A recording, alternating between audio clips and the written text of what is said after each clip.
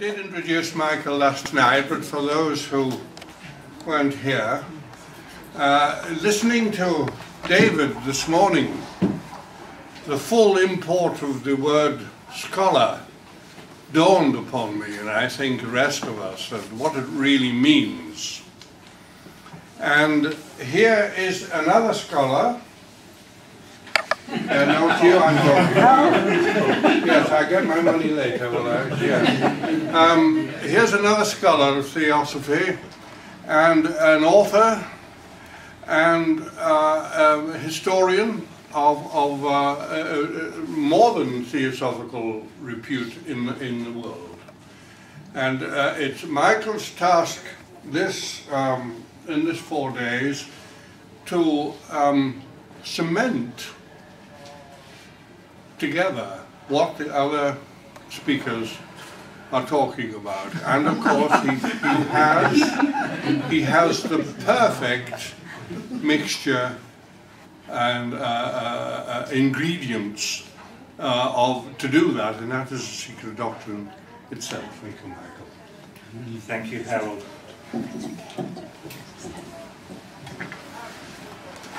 This will be the first of four sessions on a series called The Secret of the Secret Doctrine.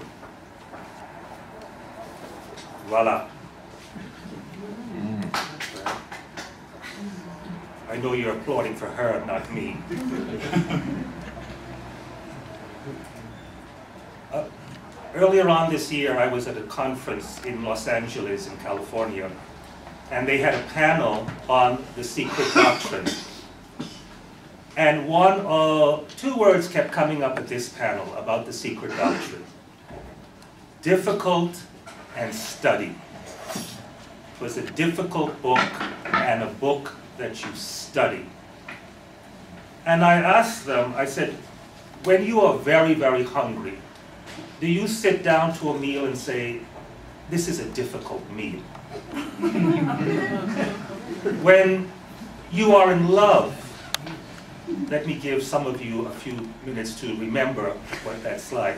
When you are in love, you say, it's difficult, it's, I'm going to study this relationship?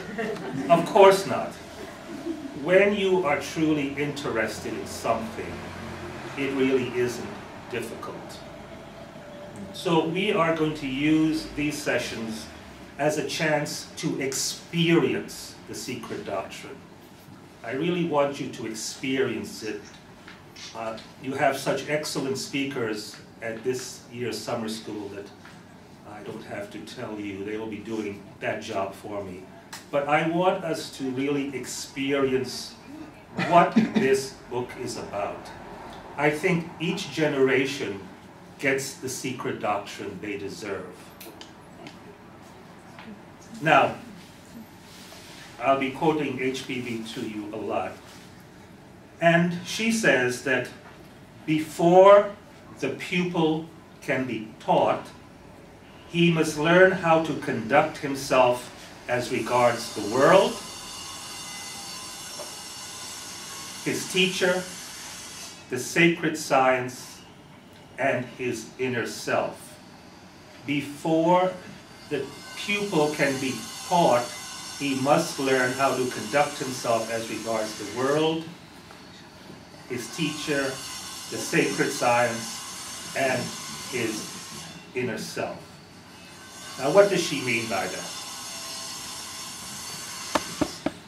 Uh, I'll give you an example from the Upanishads, the sacred scriptures of India, in the Chandogya Upanishad, they start with a tale about Prajapati, the Lord of the world, is chanting this hymn. The self that is free from evil, free from old age and death, free from sorrow, free from hunger and thirst. That is the self that you should seek to perceive. When someone discovers that self and perceives it, he obtains all the worlds and all his desires are fulfilled. And it goes on to say that the Devas and the Asuras, the Devas are, of course, the gods, and the Asuras are usually translated as demons. The Asuras always get a bad rap, so to speak, right? But yet they are necessary for the cosmic balance.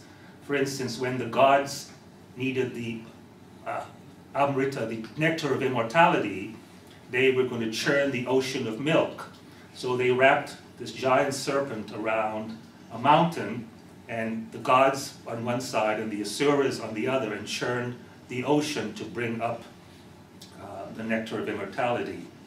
So the gods and the Asuras heard this and went to Prajapati and said, well, let's discover this thing because whoever obtains the self obtains the world. And Prajapati then instructs them and they, he says, so they ask, what is this self? What is this self that we are questing? And Prajapati says, well, put on your best clothes and look into the mirror. And they see, of course, resplendent, divine. He says, the self you see in the mirror, that is the self. And the gods and the asuras left. The asuras went on and, of course, lived a life for the self they saw, the self they perceived. They went on and ate, drank, and be merry, so to speak.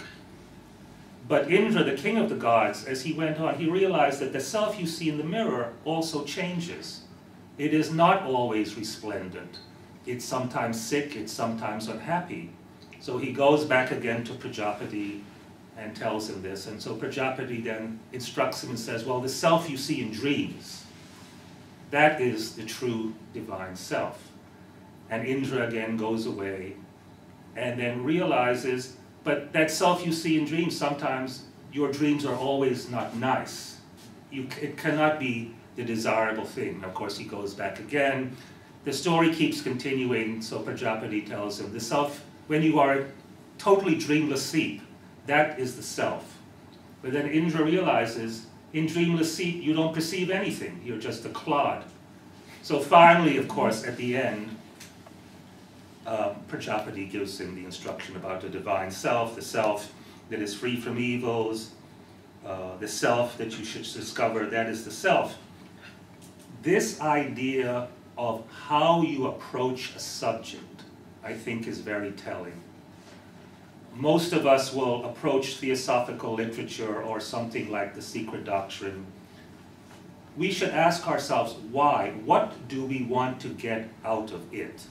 because what you seek from something, your motive, will decide the outcome.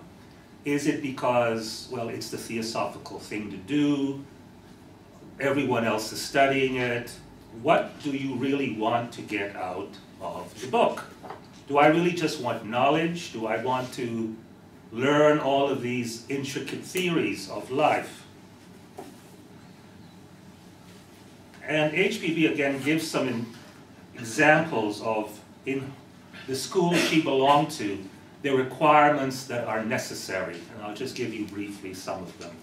For instance, the place selected for received instruction must be a spot calculated not to distract the mind. The five sacred colors gathered in a circle must be there. The disciple, before the disciple can be permitted to study face to face, he has to study with other disciples. This is one of the things that is specifically her ideas, that you study with a group. It's not just individual study. We are not just individual studying. But by studying with a group, as she says, which are not of your own choosing, then you also, by the very act of working out these difficulties, something else happens. Um, the disciples have to be attuned in harmony to each other. Um, a, a disciple has to dread external living influences alone. For this reason, while one with all in his inner self, he must take care to separate his outer body from every foreign influence. None can drink out of his or eat from his own uh, vessels. He must avoid bodily contact with human beings. If you go to India, you know there, this is the greeting. It isn't the handshake or the physical touching. Uh, she even elaborates and she says, for instance, no pet animals are permitted, and it is forbidden even to touch certain trees and plants. A disciple has to live, so to say, in his own atmosphere.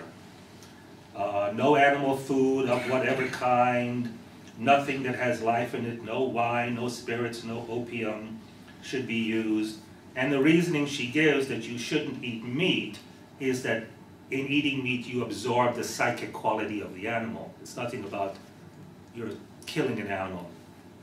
As she says, meditation, abstinence, the observance of moral duties, gentle thoughts, good deeds, and kind words, as goodwill to all and entire oblivion to self, are the most efficient means of obtaining knowledge and preparing for the reception of higher wisdom. The preparing for the reception of higher wisdom. So if we approach something like the secret doctrine, that we approach any book or a textbook, how are we preparing for this reception of higher wisdom? And of course, as she points out, these rules are almost impossible for people living in the West. How can you go about in daily life without even physical contact with anyone? Someone pats you on the back and then what do you do? So she says, these, so these are the conditions, but they're really very, very difficult for those of us living in the West. So how then do we, what is the preliminary, the prerequisite for approaching this teaching? So we just don't pick up a book and read it from cover to cover, and this is the problem I think people have. They pick it up and they expect to understand it. You know, we really want understanding. E equals mc squared. We want things to have a meaning.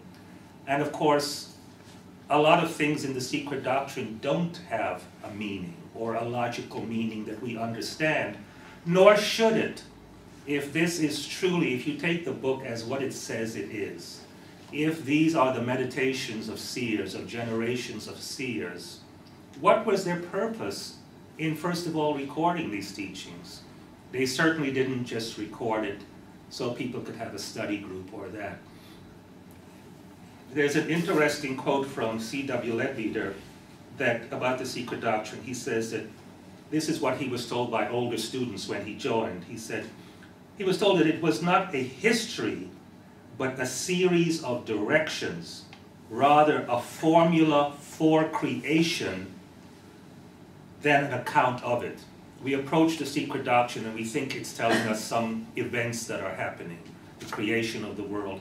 But yes, that's one level of interpretation.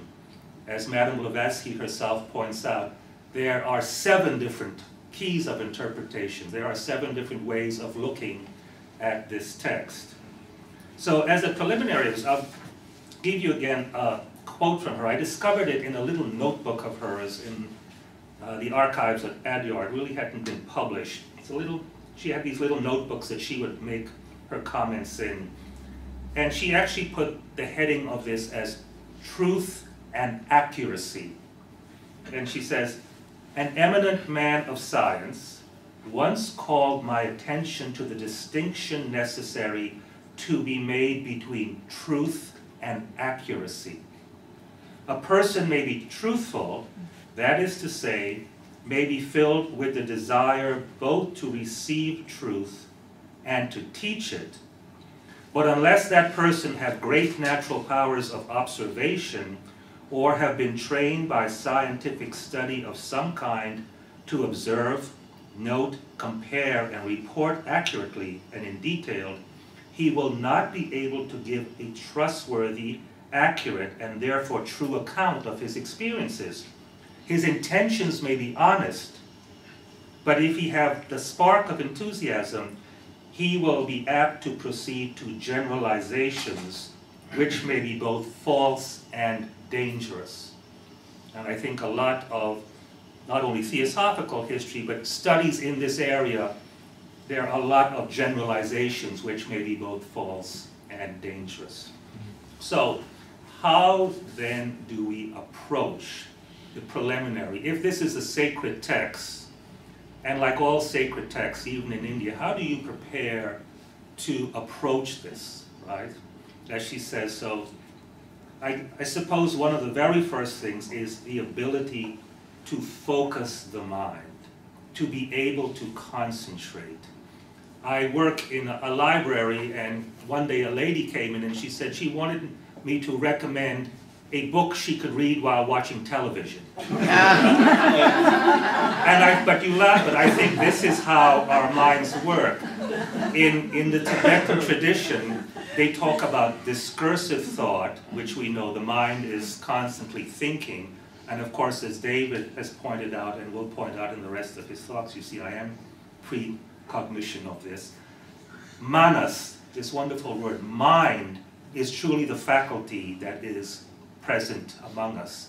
Mind, the constant thinking, the constant, in modern philosophy, actually sentence structure, how we think, how a sentence is put together, thought itself, is a great example of how the mind works.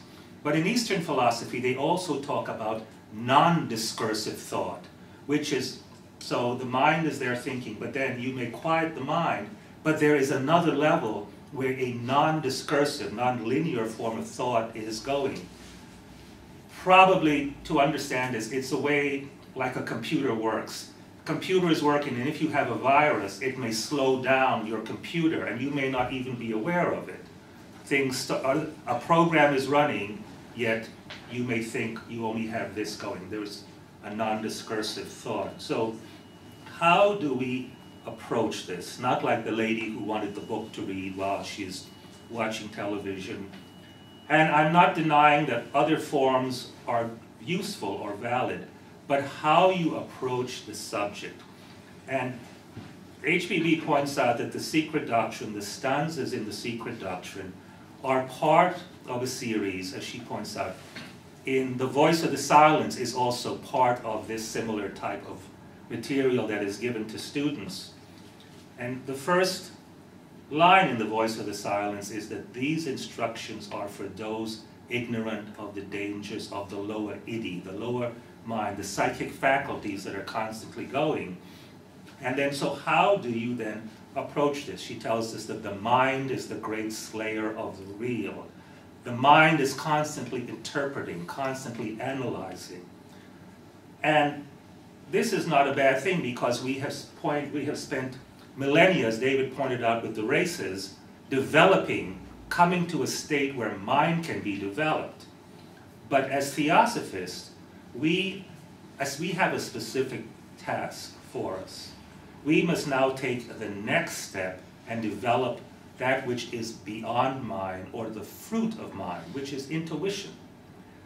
How do you then develop that intuition? Both HPB and all the great philosophers, Plato, you know, Plato's theory of knowledge is you already know everything.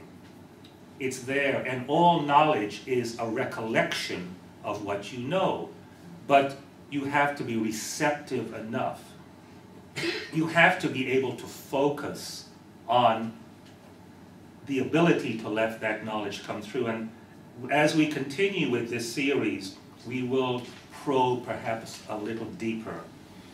As she says in The Voice of the Silence right at the beginning, uh, let the disciples slay the slayer. And how do you do that? But you develop this function called dharana.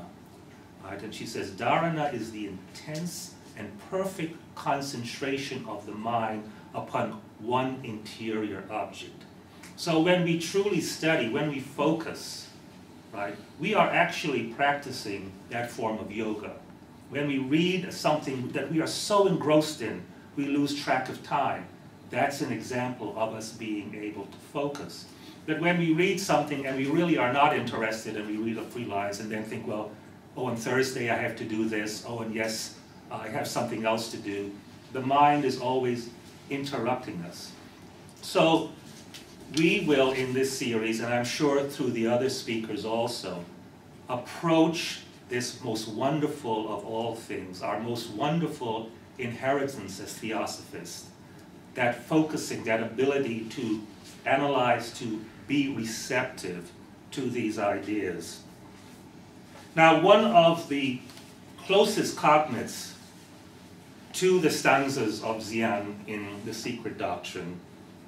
And in fact, HPB puts it on the opening page, is this great hymn of creation from the Vedas, Mandala 10, 129. And I'll read it through, and this will prepare you for this understanding of the material we will be looking at during this series, the hymn of creation. There was not the non-existent nor the existent then. There was not the air nor the heaven which is beyond. What did it contain? Where? In whose protection? Was there water, unfathomable, profound?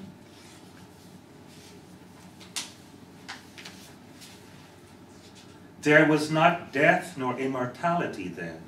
There was not the beacon of night nor of day. That one breathed windless by its own power. Other than that, there was not anything beyond. Darkness was in the beginning hidden by darkness. Indistinguishable, this was all water, matter, right? Primeval matter. That which coming into being was covered with the void, that one arose through the power of heat, this concentration. Desire in the beginning came upon that, desire that was the first seed of mind. Sages seeking in their hearts with wisdom found out the bond of the existent in the non-existent.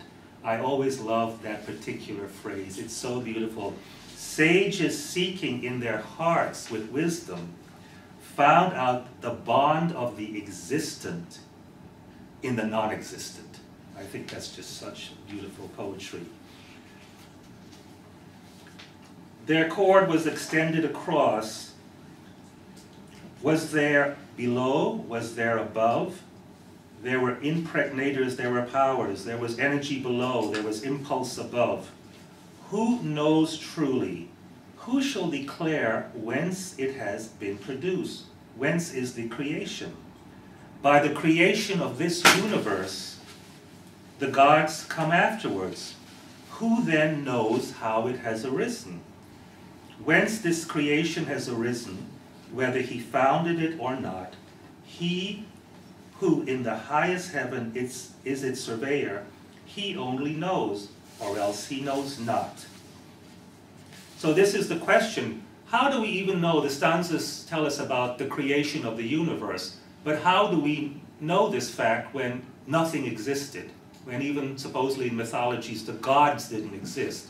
How did these sages, probing in their hearts with wisdom, find this knowledge of creation when te technically nothing was created? The universe is nothing else existed. How did they perceive this? I'm going to give you a lot of, I shall give you more questions than answers. Um, but it's interesting that HPB has already prepared the reader in Isis Unveiled. In her first book, she has already uh, given some examples of uh, the secret doctrine. For instance, she says, and she actually uses in Isis Unveiled, which is 10 years before the publication of the Secret Doctrine, the term Secret Doctrine, but not as the book. Um, she says that, uh, I will give you an example. Esoteric philosophers held that everything in nature is but a materialization of spirit. The eternal first cause is latent spirit, they said, and matter from the beginning. In the beginning was the Word, and the Word was with God, quoting Gospel. While conceding the idea of such a God to be an unthinkable abstraction to human reason, they claimed that the unerring human instinct grasped it as a reminiscence of something concrete to it, though intangible to our physical senses with the, with the first idea, which emanated from the double-sexed and hidden to inactive, inactive deity, the first motion was communicated to the whole universe, and the electric thrill was instantly felt through the boundless space. Spirit begat force, and force matter.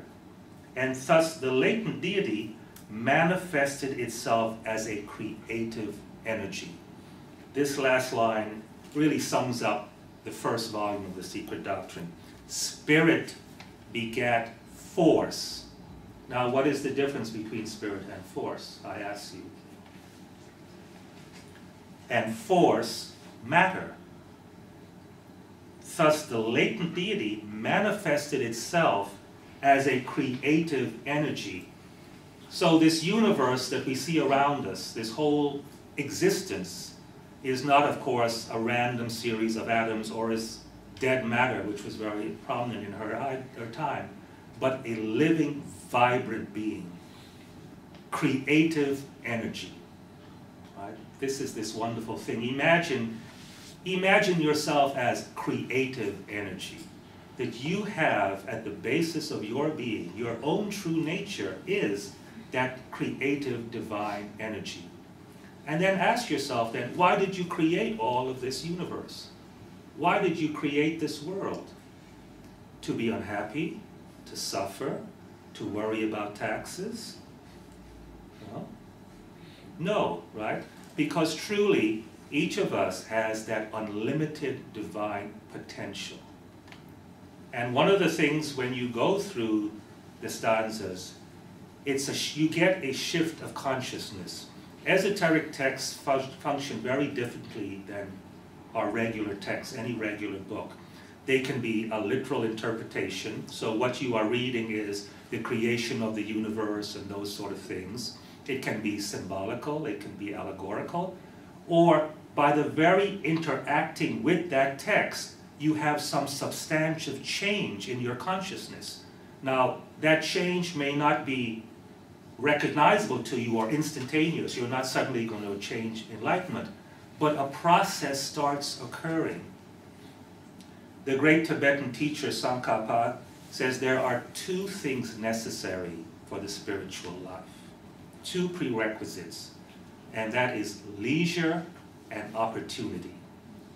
Until you have the ability of leisure, of being able to come to events like this, and the opportunity that then is the basis of it. If you are constantly working and have no time for this, if you are constantly working and worried about just simply day-to-day -day existence, feeding yourself, think of all the multitudes of this planet. You are the favored shoe through of this whole thing. The majority of people on this planet who slave and work, who travel hours just to get water, who live in a subsistent living, you are truly the crown of creation, right? And by approaching these ideas, you in turn are truly affecting the consciousness of the universe. David brought up a very important point about our own self-consciousness. The whole universe has developed through us to understand, to know itself. And then also to learn how to interact, how to treat each other, that is truly the greatest of all things, to learn how to live among each other. As you know, the basis of HPB's teaching, the final thing she tells us, she tells us that there are two paths to enlightenment, where you can simply attain enlightenment and become a Pratyeka Buddha, and, you know. But as this, the voice of the silence says, can there be bliss when all that lives must suffer? Shall thou be saved and heal the whole world cry? No, of course not. Her own path is you attain all of this to be able in turn to help others who are not as fortunate as you. And so don't ever say to yourselves, oh, I don't know this, I can't understand this. Then you are just building your own limitations. Of course you know it, of course you understand it. You just have to give that process a chance to express itself but as nature around us shows, a plant doesn't, a seed does not plant, be planted and suddenly develop into a tree. All things take time. And in this process, of course, we learn the understanding. And they have a saying in America, getting there is half the fun, right? Through actually the process of treading, of understanding these things, it's not so much the achievement of the goal, but by treading the path, you know, thou canst not travel on the path until thou hast become that path itself. So those of you who have the wonderful opportunity to attend something like the Euro School, uh, which truly is so different than other theosophical groups. With any other theosophical group, you are particularly with some particular perspective, let us say.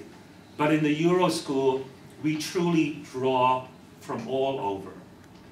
And we have a wonderful chance to share. I think part of the lectures are part, but as you well know, a, the things that we take away from the Euro School are, is all the interactions, the, the talking, the discussing, the laughter, you know, the, the truly most wonderful things till we finally learn to understand somebody and respect them for themselves, right?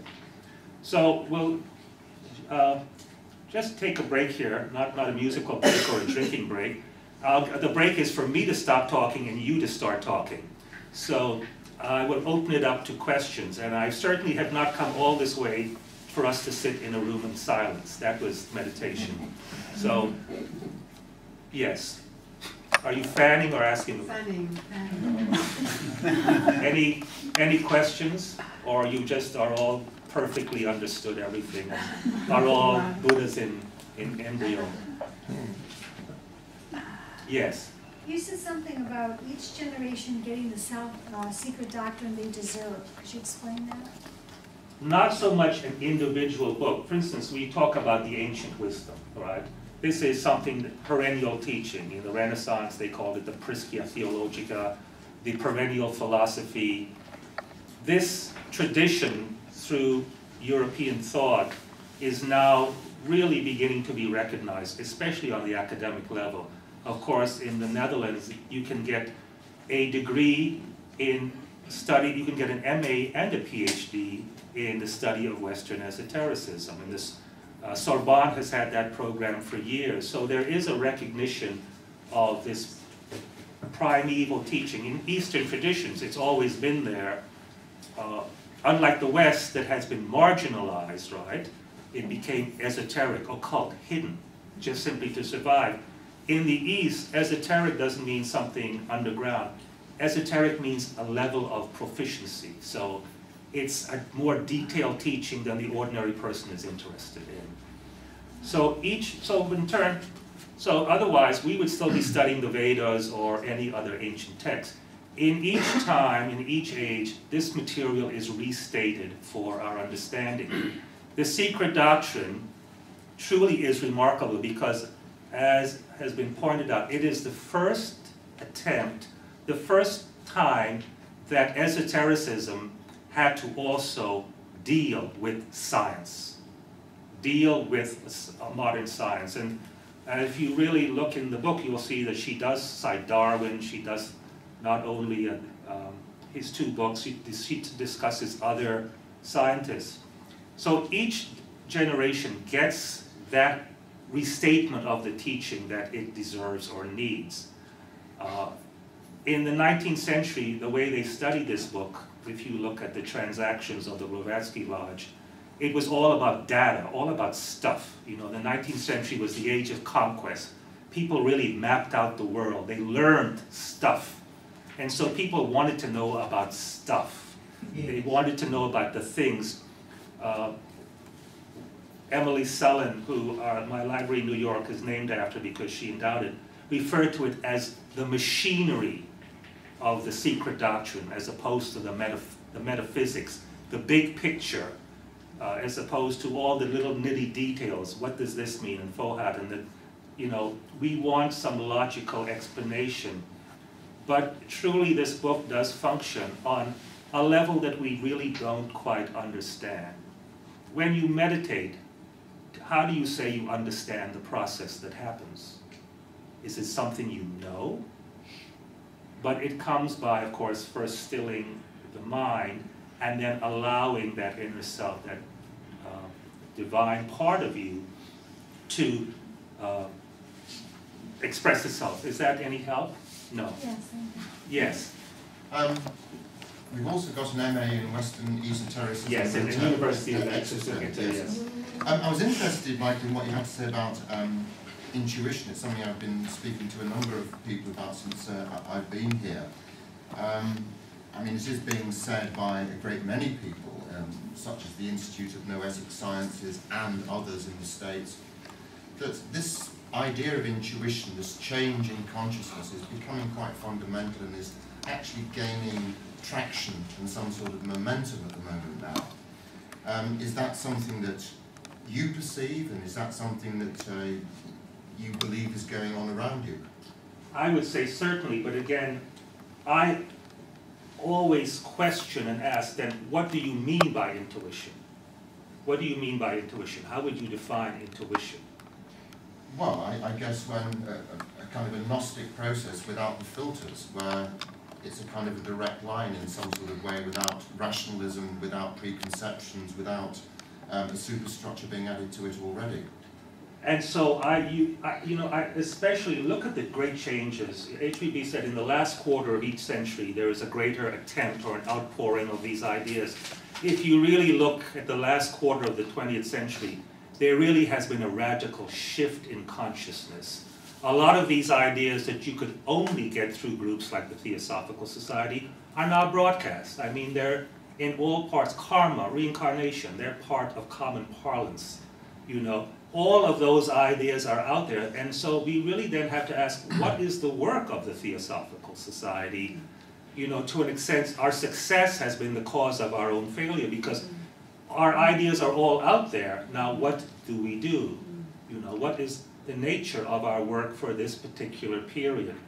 Uh, the idea of a sixth sense truly is truly developing, but uh, I think especially even the young today, they intuitionally know all these things. You know, they don't have to come and sit to a lecture. You know, look at the development of the green movement in the, in the idea that what you do can have an effect and have a global effect. This was something you really didn't find before, say, the 60s. This idea, you know, that what you do, each individual can make a process, have a part in changing the world.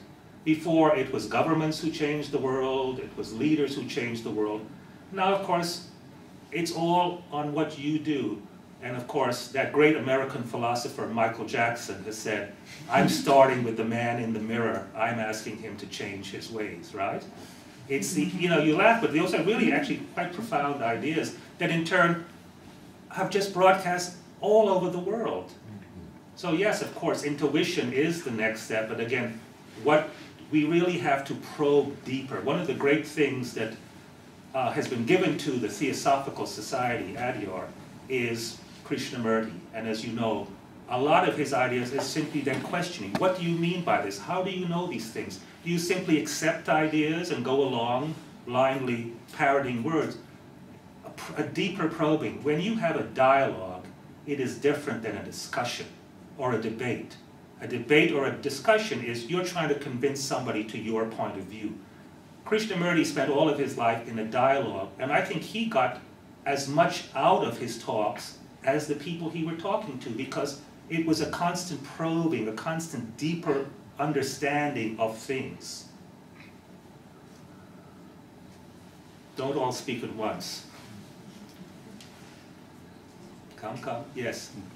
Uh, we have um, in London a, a secret doctrine class yes. on a Tuesday night, and uh, it's very interesting that it's obviously open to everyone, and somebody's seen the internet and have come along to it, and it's uh, there's always a challenge where you're sitting there and you're on page 390, and somebody comes in for the first time, mm. and you know, and it's interesting. You somebody will say at the end of it, for instance, that was great, absolutely loved mm. it. You know, didn't understand a word of it but it, it was, you know, and, it, and in that way it was an allowance, a sort of way of relaxing back and allowing this to sort of wash over you, opposed to other people who want an answer there and then, a very direct sort of line. And it's really this sort of how that is introduced, if you like. We all have different experiences of approaching the secret doctrine, but it's how we would, somebody who came in off the street, if you like, to how would you suggest they would sort of start taking that on board. Get my book. Yes. I would highly recommend that they start with this, which is the heart and essence of the, the it is the secret of the secret doctrine. It's not just, uh, you know, there have been previous abridgments which were just shriveled versions of the book. You know, it's like those nutritious drinks, like a wheatgrass drink, which is supposed to be good for you but tastes horrible because it's so condensed. Um, you know, the great Indian philosopher Shankaracharya has said in his own philosophy that even the Vedas are not telling you about the act of creation, but really turning your attention to the absolute. All of these words, all of these philosophies are turning your attention to think about the unthinkable. All of our life is on this mundane world. And when you get to something like the secret doctrine, it really is a shift in consciousness because you are not looking up at the divine, but seeing it as the divine does, looking down into the whole aspect of creation. Uh, you mentioned London. Many years ago, I spoke there, and a lady came up in the seats, an elderly lady came up and immediately fell asleep. Slept through the entire lecture, and at the end came up to me and said, That's one of the best talks I've ever heard. and, and no doubt it was for her. And I thank her. Um, I once sat in a secret doctrine class in London when Tony Maddock was still doing it, and they were, of course, laboriously reading page by page by page by page. And sometimes there were more people, sometimes there were less. And at this particular one, just a handful of people, but a young lady in the class, she came in and she first announced before the class, she said, this is probably the last class I'm coming to. She said, why does everything in this book supposed to mean something else? Right? So Tony being Tony, they were simply reading through, I think it was about snakes and the, and, and uh, the trees and all that. So we we're reading through, and you know, they went around, each person read something. And when she read her part, she said, oh, so that means such and such. She had that aha moment that we didn't. Suddenly something had relevance to her and spoke to her. So you never know where, when the divine will speak to us, when we will be caught unawares, right? We're treading among the divine. Uh, one of the things, well, if you stick through the next three, you'll, I'll, I'll give you perhaps more of that answer because I think the previous approach has been a brain-mind approach, and I would like to see the secret doctrine used more as a meditation text. This version is not so much a book for the mind, but a book for the heart. Uh, many, many years ago when I was in India, my friends kept saying, oh, you have to go hear this Swami so-and-so, and even though they were Parsis, and I wasn't really interested in hearing, but he came to Madras and I went to see him, a very elderly man with long beard, thousands of people there. And he said, one of the things he said is, the mind should be empty and the heart should be full, but instead, the heart is empty and the mind is full. Right? And as you know, with lot, even going back to the Christian Western things, it's all about emptying the self, emptying out of, to let the divine come in a lot of Christian mysticism is about emptying out yourself so the divine bridegroom, the divine can come in. Uh, to realize that you do have at the basis to understand, to be able to recognize that divinity in you. Perhaps divinity isn't the right word, but our language is such that each of us has that divine spark, that wonderful electric thrill that is spent through life and really, all of our teachings is simply to recognize that in us, you know, that, you know, oh, hidden life vibrant in every atom, oh, hidden light shining in every creature. To recognize that unity, that commonality, really can help uplift all of humanity. Uh, just in closing, I'll give you a, one of the ideas. I came across this idea about the secret doctrine all people, Katherine Tingley. She, when at the end of her uh, leadership, I suppose, she had a series of lectures done by Gottfried Purucker.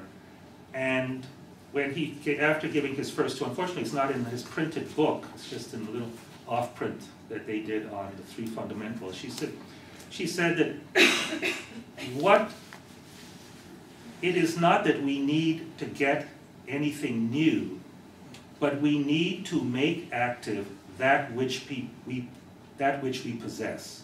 Not that we really need further extensions of the teachings and something new. We haven't even understood the basic teachings. So it's not that we really need anything new, but we need, need to make active that which we possess. And I think that's a great idea, and that's what I'm going to leave you to, to digest that uh, as you will digest your meal. So uh, thank you so much, and we will continue, well, we will continue our voyage of discovery with the secret doctrine.